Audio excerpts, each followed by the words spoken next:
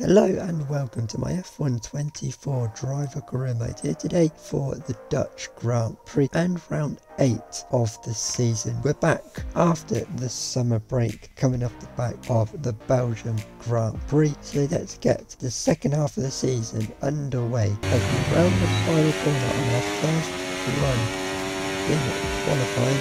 We come out the bank and we've got the win grass. We come to the line and that is good enough for P9 as Charles Leclerc puts on position pole.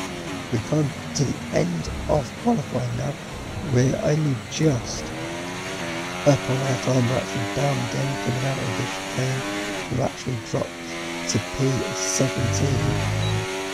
We found a couple of hundreds coming through the final corner as we go up to the line. We're finding a little bit more time, but we are going to start for years, the people of Zandvoort fondly recalled the Grand Prix they used to hold, and then came along Max Verstappen.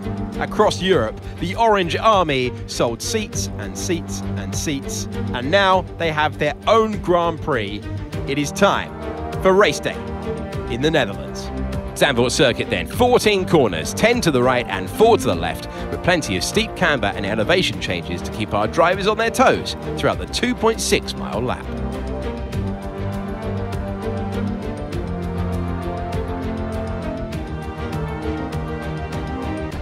Before we begin, let's take a quick look at the grid lineup for today's race.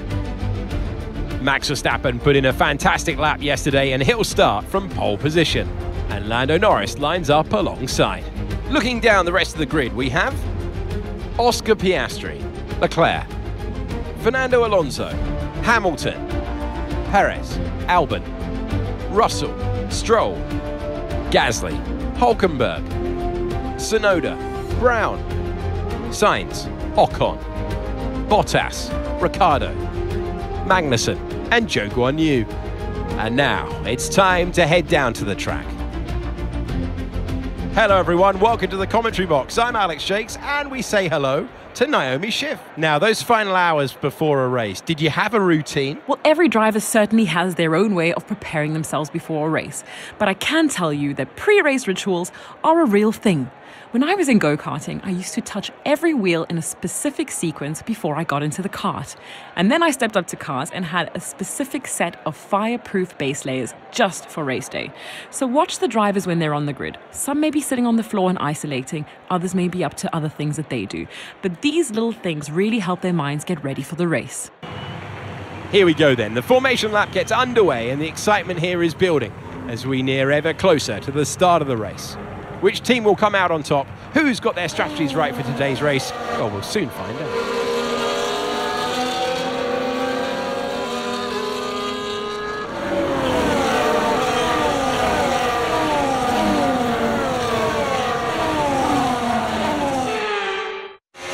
So as all the cars take their positions on the grid, the teams will be hoping their strategies pay off for them in today's race. But the question I'm asking is which teams have got it right and which teams have got it horribly wrong.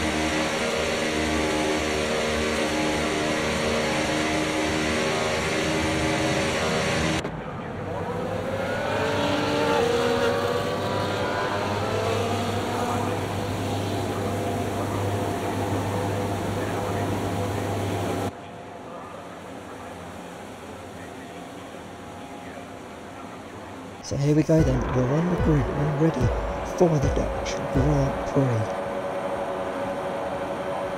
So now would we like to be on racing here at Zandvoort. We've got a very decent start. So Carlos Sainz is alongside us. We're going to brake later.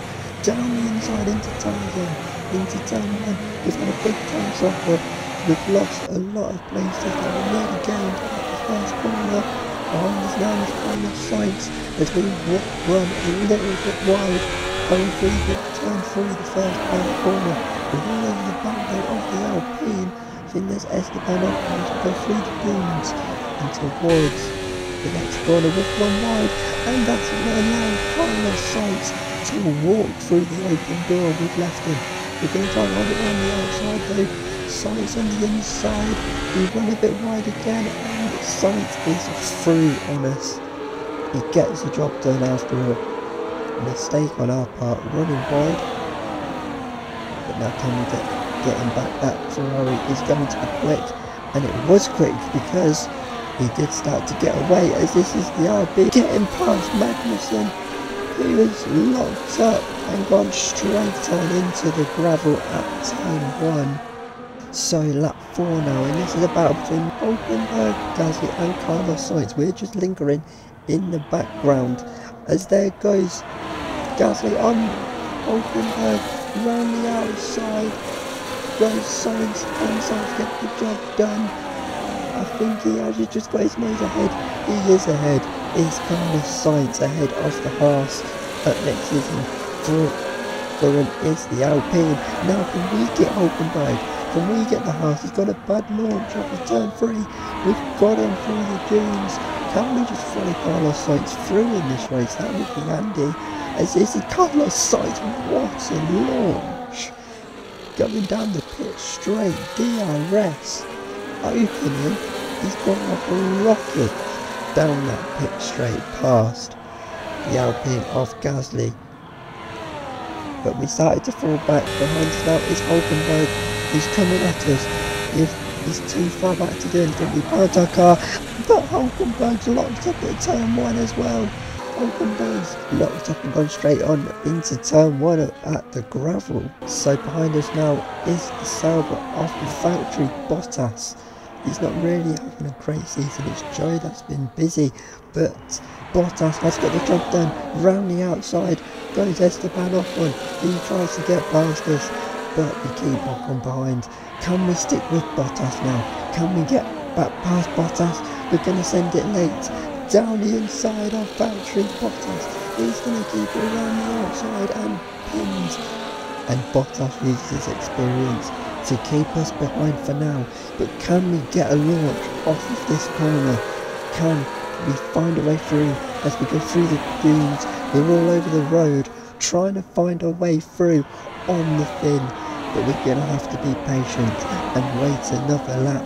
As we come on to the end of lap 11, we're going to be getting closer and closer to the back of that Sauber. We're going to swap Bottas the dummy. The inside didn't work, but the outside has worked. But we keep it pinned around the outside. Bottas keeps his foot in on the inside, but Bottas backs out of it this is just at the road. This is George Russell going down into turn one and straight on into the gravel.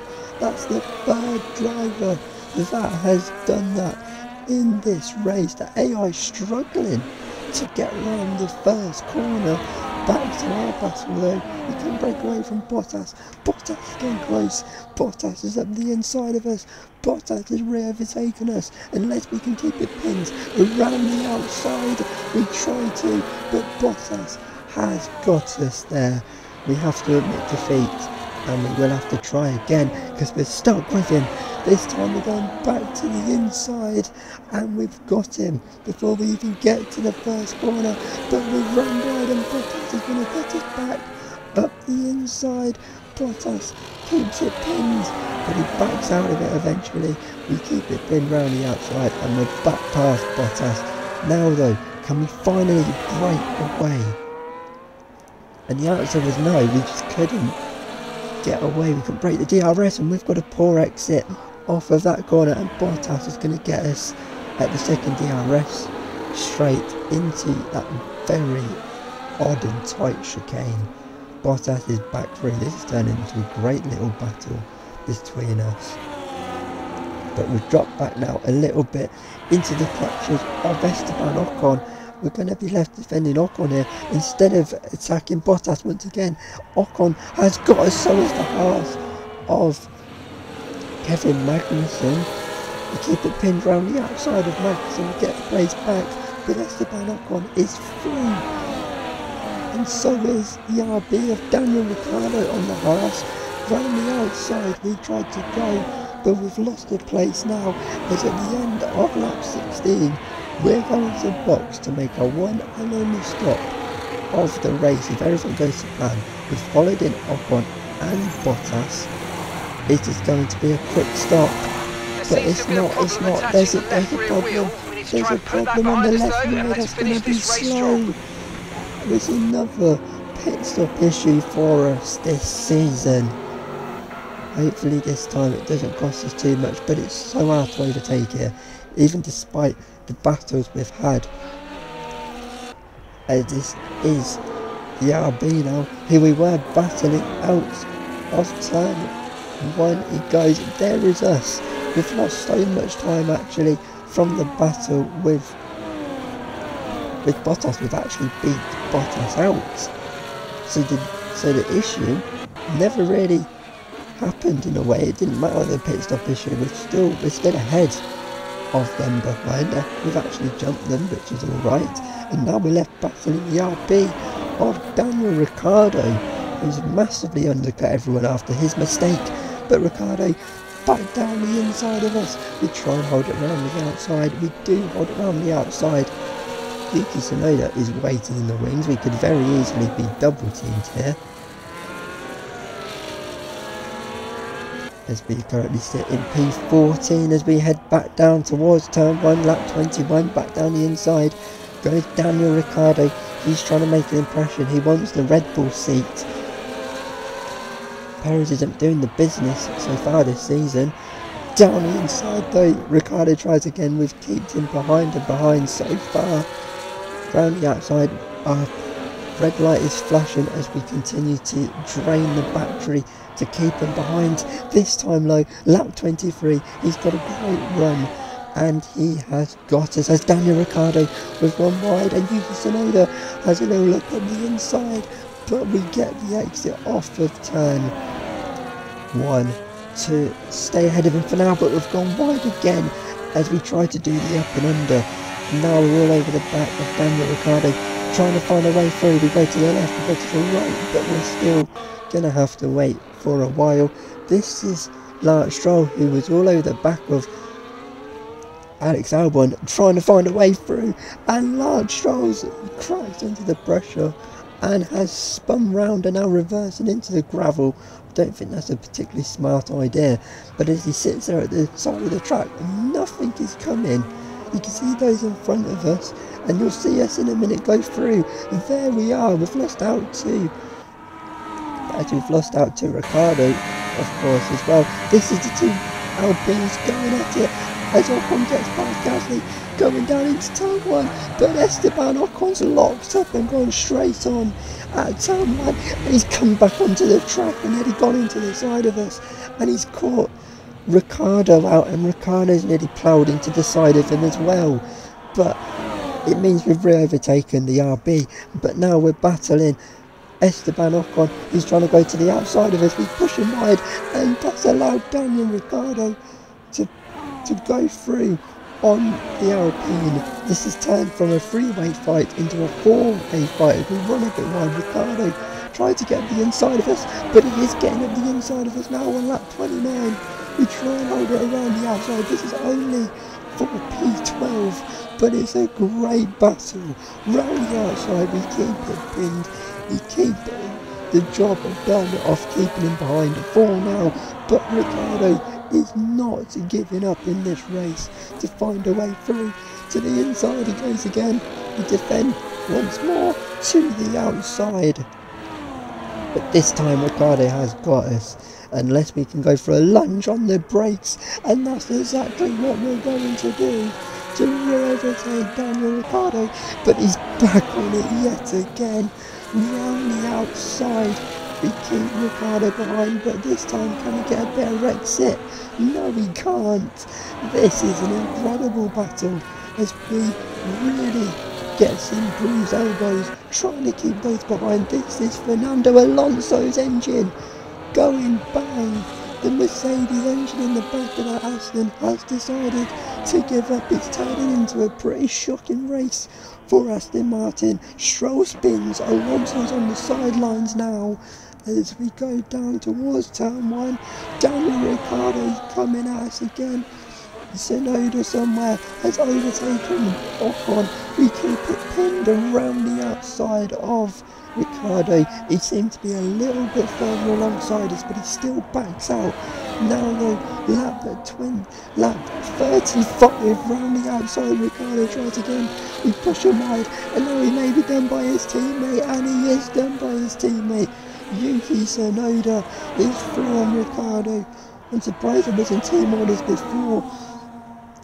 But Yuki Tsunoda now going on to the final lap of this thrilling Dutch Grand Prix goes to the inside.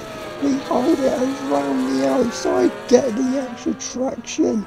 There seems to be so much more grip on the outside of turn one, but we keep him behind. But up front, Charles Leclerc is going to deny Max Verstappen a fourth home Grand Prix in a row. He wins, but Max is racing into the line. Charles Leclerc does it on the line with Verstappen has to come home for P2 and we, after an epic battle with the RBs, going to come home for P11. Many doubted whether they could pull off the win here in Zandvoort, but they've done so in spectacular style.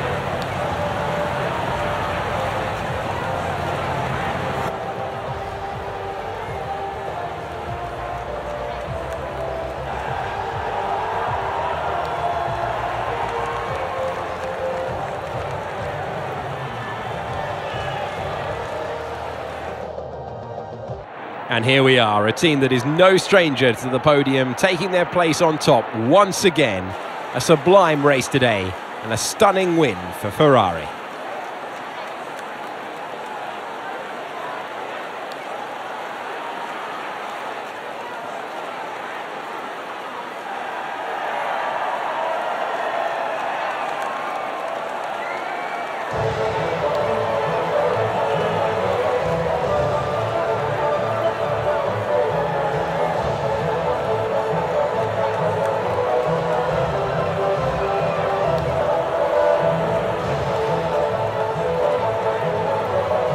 So that's been your Dutch Grand Prix won by Charles Leclerc, Ferrari's first win of the season. Max Verstappen's going to have to wait a little bit longer to get his first win as a four-time world champion. He's been denied a fourth Grand Prix win in a row here at Zandvoort. He nearly did it on the line though. Look at that, 92 thousandths of a second. In terms of our race though, we come home for P11. Great battle with the RBs of Ricciardo Ricciardo and Tsunoda. Tsunoda getting Ricciardo in the end after we pushed him wide. Though we just missed out on points at P11, Alex Albon has got points today, finishing P9. So that's some good two points for us. Fernando Alonso retired and Lance Stroll finishes in P19. They were both in the points. It was looking alright for Alonso. It's an awful day for Aston Martin. So last time out in Spa, Max Verstappen was crowned a four-time world champion, but that win for Charles Leclerc means the gap has come down for once and the gap is 76 points. There's very much still a fight on for second in the Drivers' World Championship is still very close between Leclerc, Lando, Hamilton. Alonso, after getting up the order last bout in Spa, has dropped back down again. He's been jumped by Lewis Hamilton once more. We still sit P10. Piastri has gained a bit today, but so has Albon as well. And then down at the back, there's still three drivers still yet to score. That being Yuki Tsunoda, Esteban Ocon, and Kevin Magnussen is bottom of the drivers World Championship. In terms of the constructors then, everyone has a point now, but it is Red Bull who are still at the top. They can actually wrap up the constructors next time out at Monza with just two races to go. Ahead of Ferrari and Mercedes in the top three aren't too far behind the prancing horses. And then P4 is McLaren, Aston Martin P5, we are still P6 ahead of Sauber, Alpine, RB and Haas. So that's been then your Dutch Grand Prix. We go though next to the home of Ferrari at Monza for the penultimate rounds of the season before the sprint race finale in Brazil, we head to one of the greatest tracks on the Formula One calendar. We'll see you in Monza. Goodbye.